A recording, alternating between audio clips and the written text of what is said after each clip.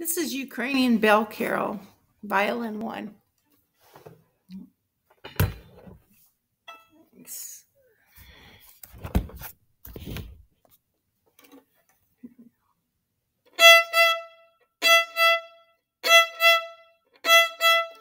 Then four measures out.